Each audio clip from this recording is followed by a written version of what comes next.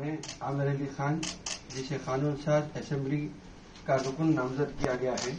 अल्लाह के नाम से हलफ लेता हूँ कि मैं कानून की दौर से राइज दस्तूर हिंद का वफादार और फर्मा बरदार रहूँगा। हिंदुस्तान के इकतदार आला और इसकी सालमियत को बरकरार रखूँगा और इस फ़र्ज़ मनसबी को जो मुझे तफवीज किया गया, किया जाने वाला है, पूरी दियानतदारी से अंजाम दूँगा। आई। आमिर अली खान, रुकन कानून साज तेलंगाना कानून साज काउंसिल अल्लाह के नाम से हलफ लेता हूँ कि मैं ऐवान के कवायद का पाबंद रहूँगा, उन पर अमल करूँगा और आदाब मजलिस को महफूज रखते हुए ऐवान की रिवायत का एहतराम करूँगा। मैं आमिर अली खान, जिसे कानून साज असेंबली का रुकन नामजद किया गया है, अल्लाह के नाम से हलफ लेता हूँ।